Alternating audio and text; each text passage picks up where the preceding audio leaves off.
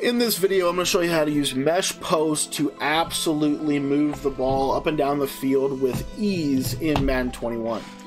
What's up guys, my name is Cody and I want to thank you for taking the time to watch this video. Now if you're new to the channel and you don't know what my channel is all about, my channel is all about how to become a better Madden player in Madden 21. And so if you're looking to get better at this game, I want to encourage you right now to go ahead and hit the subscribe button at the bottom right hand corner of your screen. Um, it's completely free to subscribe and if you want to know whenever we release a new video, go ahead and hit that bell icon right next to the subscribe button. That will let you know, basically to allow YouTube to tell you, hey Cody released a new video, here's the link for you to go check it out. So, uh, anyways, we're taking a look today at the Mesh Post. Now, if you don't already know, I released a full ebook on the New York Jets offensive playbook, um, specifically focusing in on the gun bunch offense. And so, if you want to get the full gun bunch ebook, it's only $15 and it's on sale right now. There's a link in the description for you to be able to pick it up. Now, the play we're going to be breaking down today um, is this mesh post. But we're going to break down a very inter- a little bit of a different, unique way to run this. And what we're going to do is we are simply going to put the running back on an in route. We're going to put the tight end on a drag. So our mesh is now going to be between the tight end and it's going to be between um, the the triangle receiver here, which is the running back. So the X is going on a, a, drag. The running back is going on an in route. And then what we're going to do is we're going to take the square wide receiver, which in this scenario will be Marquez Valdes-Scantling, and we're going to put him onto a fade route. And then what we're going to do is we're going to take the R1 receiver, which is Davante Adams, and we're going to put him on a flat route. The last thing we're going to do is we're going to motion out the circle receiver and snap him at the numbers. You see, this is the combination that we've created. And basically what we're going to do is we're going to read our little underneath mesh route. Now, this running back route is one of my favorite routes in the game. It's it's automatic. It is something that is so simple but so effective in this game. I cannot tell you how good this route is. You just have to try it yourself. If you get a nice little RAC animation, this thing has gone for touchdowns for me, but it's the simplest route in the world and it gets about 15 it gets about 5 to 15 yards pretty much every single time. Now, um, the reason we use the fade on the backside here is because it's going to open up a lot of room and space for this uh, tight end to be able to come across the field against man coverage. This is probably my favorite way to run this against man coverage because the tight end drag will get open. The fade is really good because what a lot of people like to do is they'll put these purple zones out there, right? They're going to put these underneath zones out there to try to stop crossing routes, to try to try to stop, um, you know, different things, maybe some playmaker routes, whatever. What you're going to notice here though is that square receiver, he's not always going to win.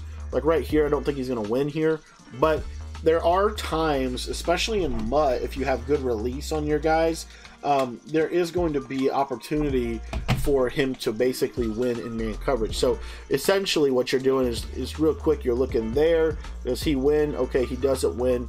Um, and, and then I think I actually accidentally forgot to put him on the fade right there. But that's really what we're looking at. We'll show you. We'll show you why this is a very powerful play uh, against zone here in just a second, but I wanted to sit on man coverage for a couple more reps here. Just wanted to show you one other thing. So again, here's your setup. You're motioning this guy out to the numbers and snapping.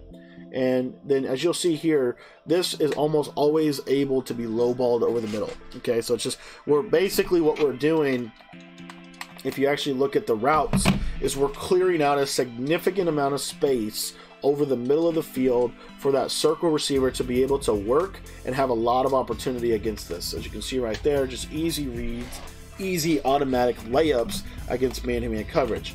Now again, I did want to hit on just briefly here, if they run, um, if they run press man coverage, you always want to be peeking to see if that fade route does win. Um, sometimes he will, sometimes he won't. But as you'll see right here, just try to get your swerve catch on. It didn't work that time, but I'm telling you, over time it will work. You will be able to win the press. It just doesn't happen every time, okay?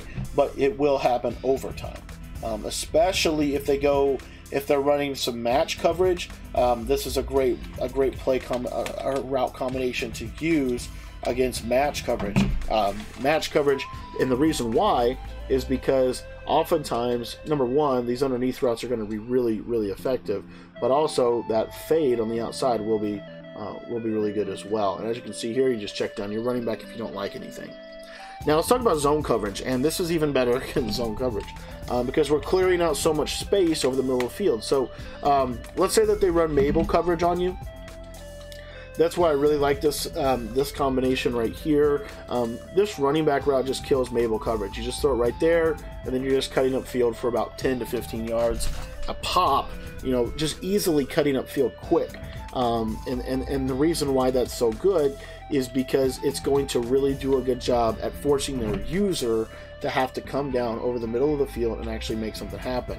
Now your tight end route is it's okay against zone, um, especially you know hard flats. You just want to throw it quick. You have to throw that tight end route quick. Now the one thing I will go ahead and get out of my get out of the way is it's very likely that they're going to be using the middle of the field, and so I wouldn't recommend. You know, like if you're if, if their user standing right here and he runs over here, that's one thing. But if you're if their user kind of sits in this area right here, I wouldn't throw that tight end route. I would let it go, um, you know, and just and just move on to the next read, which is more than likely your running back. Now, uh, the next thing I wanted to show you is the post route, and this is really the money route on this play. Um, is this post route to Tavon Austin? There's several ways at which you can throw this. So you'll see here all the space that he's going to be created, and you can low ball it right over the middle, very easy um, very easy read over the middle. And the next thing that I want to show you is a late progression, and this is more for, uh, in particular, um, it's more for Tampa too, honestly, um, but it does apply to it does apply to like cover three Mabel. So I just want you to watch um, this route again. We're just motion stepping just a little bit. Watch that fade clear the zones. You'll see it's going to clear, clear, clear, clear, clear, and of course I I got under pressure and accurate, but um, that that is a late read. It's it's more for you know a two man rush. You know if they're taken away, and this is really for something like exactly what you're seeing right here, where they're literally dropping a lot of people in coverage. Um, this this play is going to be phenomenal for that. So again, you just just a little baby motion right there. You don't have to get him all the way outside here. But what you're going to see is look at all that space right in behind that zone drop. That's a 30 yard or 25 yard flat zone that that's getting that's getting over. It'll get over 30 yard flat flat zones as well. Now, if you know that they're not running man coverage, um, then you might not want to put the post on on a motion snap. You might just want to leave him as is. Um, you know, you might just want to literally just go, uh, just quick, you know, quick movement here, but not even motion him at all. If you don't motion him at all, he is going to run a little bit better on this sideline. As you see right there, he runs all the way over. But as you can see, the time, um, the time allotment is a little bit of the issue. Now, one other thing that I haven't hit on a ton, on a bunch, um, is the spacing idea. So, for example, what you could also do with this play, just so you know, is I could put the R1 on a flat, put the X on a drag streak, and then do you know do my setup here. But I'm to motion him. In this case, I'm to motion him all the way out here. So you see how far he is outside. Now he's got a lot of room. He's got a lot more room over the middle of the field. So where you snap him is just a matter of what room you know does he have. But this play is, I mean, this play is great. I mean, it, it really is. Like it's it's it, depending on if they set zone drops or not. Um, this is this is a phenomenal little play uh, design that is going to be very effective. Now I haven't talked a lot about match coverage, um, just because if you're running match coverage, the defensive principles do work a little bit differently than if you're running just a standard defense, of course. So you're going to have to beat it a little bit differently than you would, you know, something else. But if they do run match, I just want to show you real quickly what a match defense would look like, you know, against this play. And the biggest thing I do is I want you to watch that square receiver. So what you'll see is that square receiver will almost always, if they press out a match, that square receiver will almost always get an outside release and typically will beat him uh, in a one-on-one situation. I'm telling you right now, like we're talking about 80% of the time, um, that that corner will not be able to, to hang with him over the middle of the field. Now you do have that nice little low ball still to that post route, as you can see. Um, it does get crossman, but it is able to um, easily easily beat that. And then the last thing I did want to hit on is the the, the crossers. So the beauty of this double crossers here um, is you just have this, you just pop right in and go for a couple yards. So that's mesh post with the um, mesh post with the fade on the left side. A great way to run this play. So thanks for watching this video. If you want to get the full ebook, it's only 15 bucks and it's available for you in the description of this video. Thanks for your time. Hope you enjoyed the videos. If you have any questions, you can always text me. My number is 208 218 6900.